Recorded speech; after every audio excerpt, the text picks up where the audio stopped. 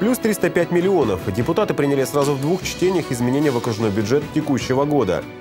Запланирован на 9 ноября. Ненецкий округ разместит первый транш облигаций государственного займа. Студент, образовательное учреждение, предприятие. Еще 11 учащихся профессиональных учреждений заключили трехсторонние договоры с пятью работодателями региона. Здравствуйте! С обзором основных событий этого дня с вами в студии Илья Сахаров. Депутаты Окружного собрания приняли изменения в бюджет региона на 2017 год. Это уже пятая поправка в текущем году. Изменения в бюджет вызваны поступлением дополнительных доходов в размере 305 миллионов рублей. На эту же сумму увеличены расходы. Как отметил главный финансист округа Татьяна Логвиненко, региональный бюджет по-прежнему остается социально ориентированным. Изменения в бюджет Ненецкого округа внесли по нескольким причинам с целью достижения майских указов президента и перераспределением бюджетных ассигнований по заявкам главных распорядителей бюджетных средств. Параметры бюджета увеличиваются по доходам на 305 с небольшим миллионов рублей, в основном за счет налоговых поступлений. На сумму поступивших доходов увеличена и расходная часть окружной казны. Бюджет по-прежнему остается социально ориентированным. Доля расходов на социальную сферу составляет 56% от общих расходов или 137,5 миллионов рублей. Из них в сфере здравоохранения дополнительно выделено 133 миллиона рублей, социальной политики 83,8 миллиона. Увеличены расходы и по другим крупным статьям. 124,8 миллиона рублей на достижение целевых показателей майских указов президента Российской Федерации учреждением здравоохранения в связи со сложным финансовым положением окружной больницы.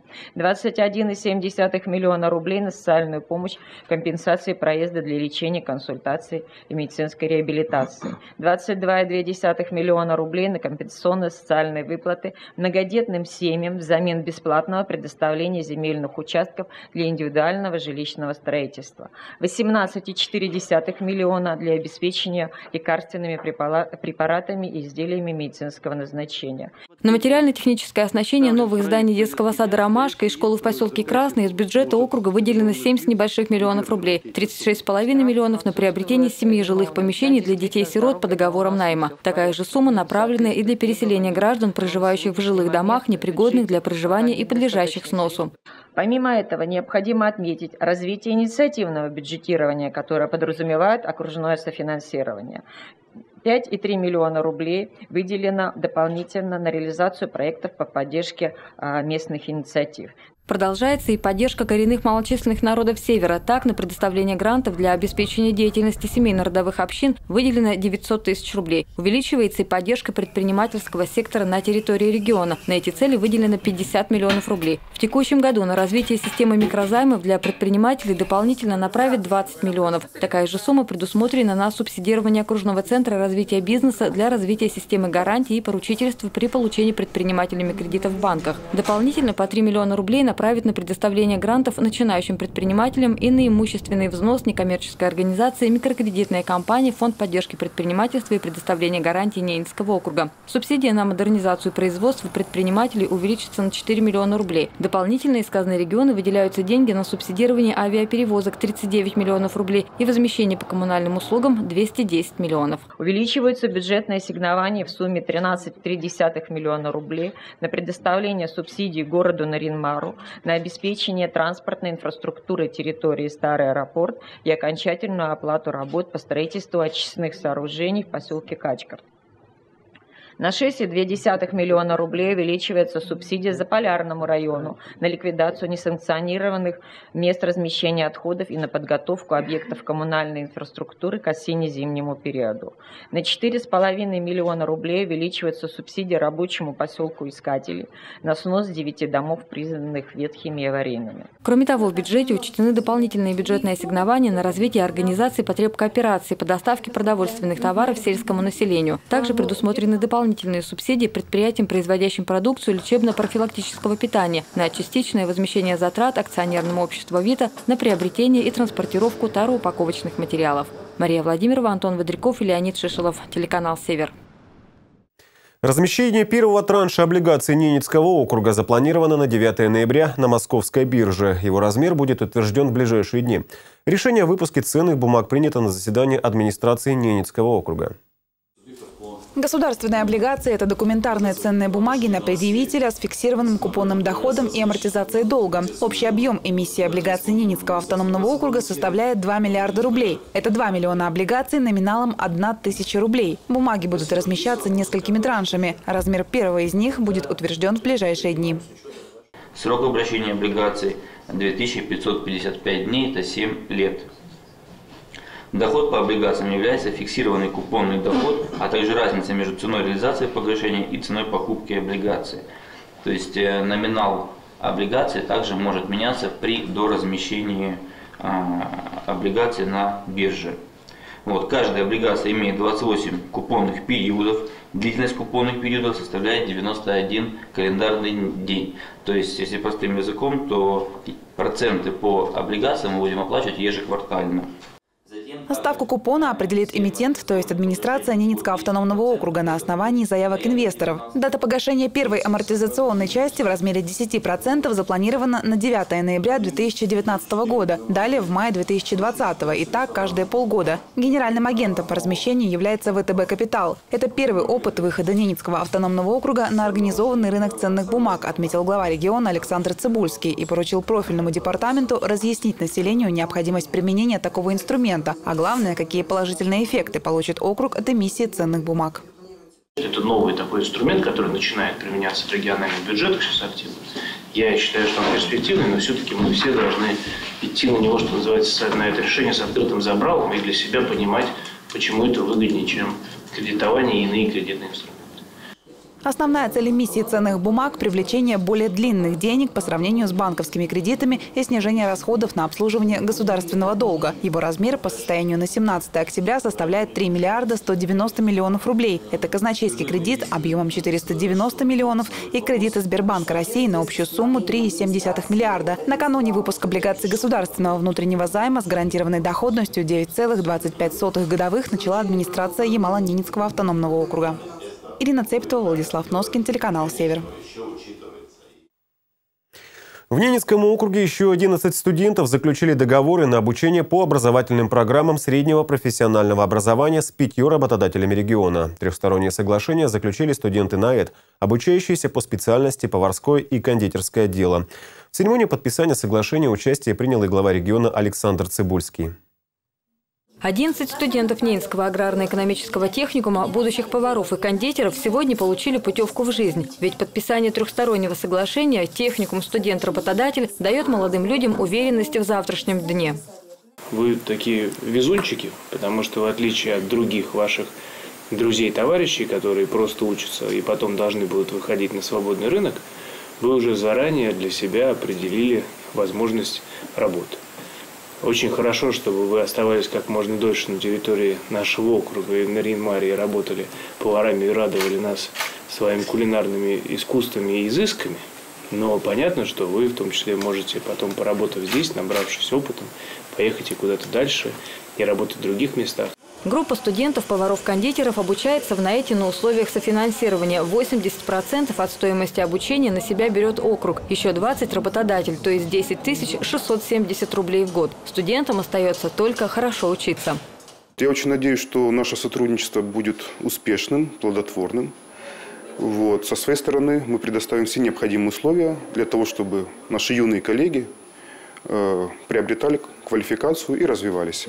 Компания «Ависта Сервис», занимающаяся организацией общественного питания на производственных объектах нефтяных компаний, сегодня в числе тех работодателей, кто через три года и 10 месяцев примет на работу сразу пятерых студентов на этом. Павел Вартанов признается, найти хорошего повара – большая проблема. Поэтому подписание подобного рода соглашения дает уверенность – кадрового голода у предприятия не будет. В числе организаций, которые сегодня заключили трехсторонние соглашения, также индивидуальный предприниматель Василий Орешко, Наринмарское городское потребительское общество, Стелла Павлова, Паларе и ресторан «Заполярная столица». Подобные соглашения в сентябре текущего года были заключены между будущими медиками и работниками сферы ЖКХ.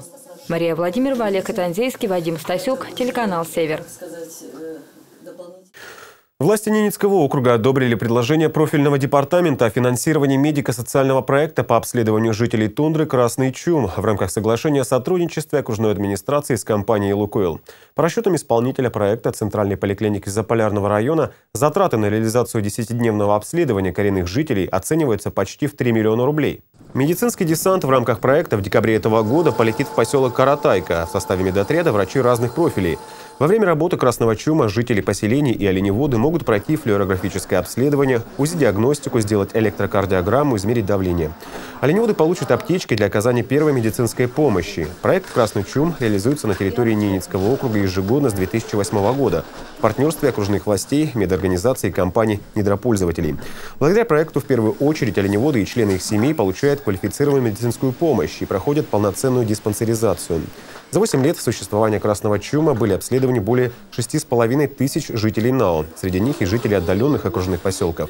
По результатам комплексного осмотра специалисты проводят общую оценку здоровья населения. Для каждого жителя определяется группа здоровья, составляется план лечебно-оздоровительных мероприятий, даются рекомендации для проведения дальнейших наблюдений.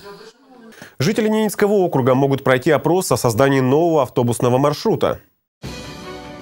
Опрос поможет определить пассажиропоток и потребность населения в автобусных перевозках по маршруту Старый аэропорт Искателей.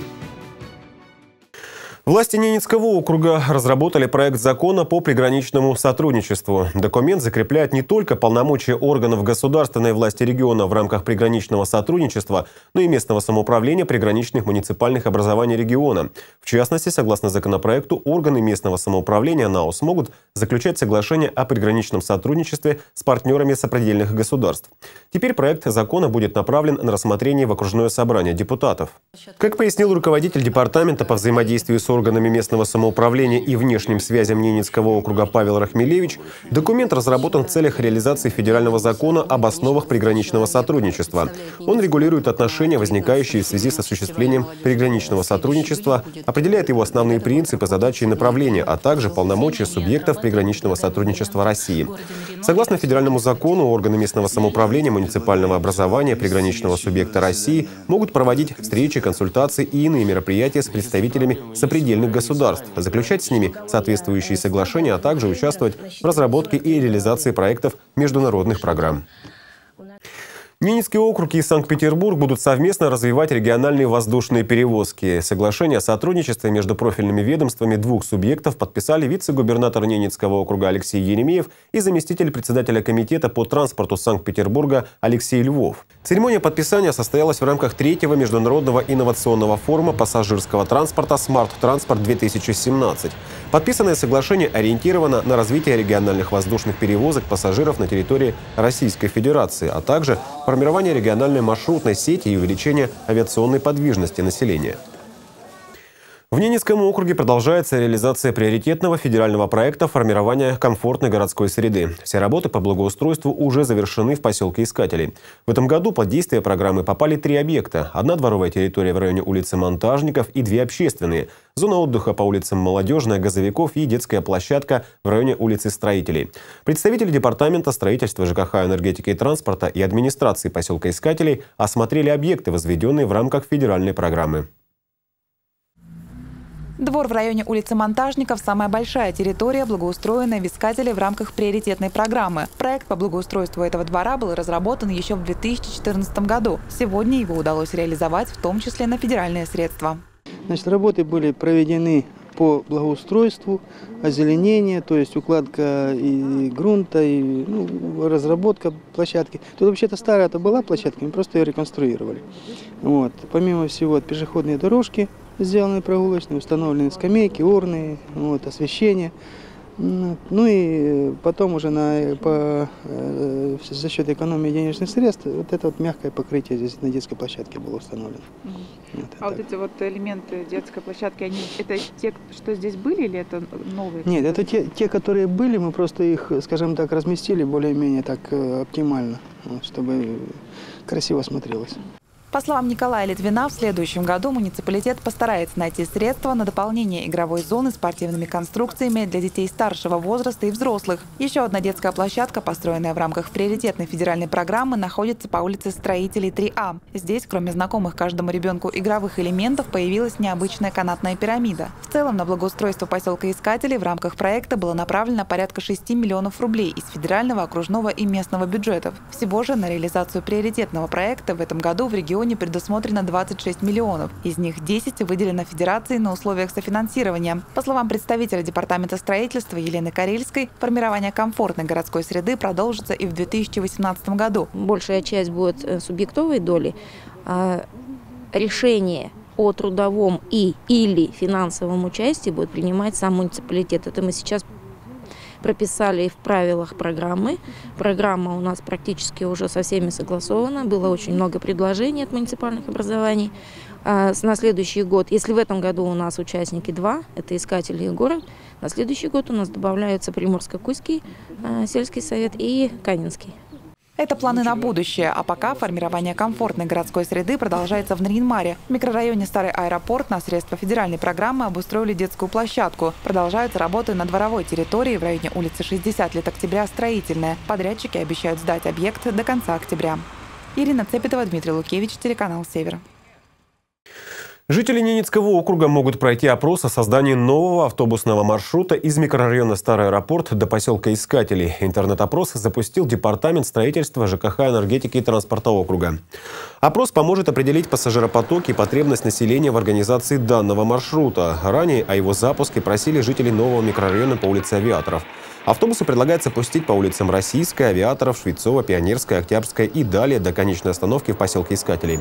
Опросник состоит из пяти вопросов. Планируете ли осуществлять поездки по новому автобусному маршруту? На какой автобусной остановке садитесь и выходите при поездке в направлении поселка Искателей? Пункт назначения поездки? Какие маршруты используете в настоящее время? Такова была информационная картина этого дня. Мы следим за развитием событий. Увидеть наши новости вы можете также и на сайте по адресу www.trksever.ru. На этом я с вами прощаюсь, а далее прогноз погоды.